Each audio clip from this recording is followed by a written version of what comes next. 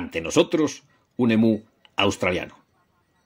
La tercera ave más pesada de este planeta, tras el avestruz africano y el casuario australiano.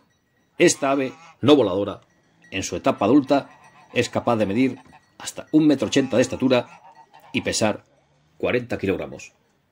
Con sus potentes patas es capaz de correr hasta 50 kilómetros por hora durante varios kilómetros. Su alimentación, omnívora, se basa en vegetales e insectos. Y su fácil crianza ha hecho que la podamos ver en muchas granjas de este nuestro planeta, para aprovechar su carne, su aceite y su cuero, un animal sociable que puede convivir con muchos animales de granja.